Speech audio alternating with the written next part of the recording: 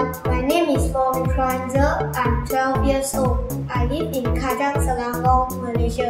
Nowadays, in our pocket, it is the high technology gadget like iPhone, iPad. If you play more computer games, it will cause illness and cancer. So, I have designed a robot named UV absorber that can help to absorb UV. Now I will show you the demo. Now I'm surrounded by UV light. Let's see how it works. First, I'm going to turn on my UV absorber to show you.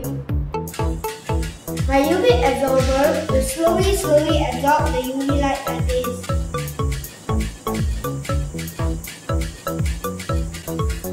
And this is how it works. Even though we have this UV absorber, but we can't too rely on it. We ourselves still need to play less to be healthier. Since I have just finished ROBOTIS Dream Level 1, I have limited material.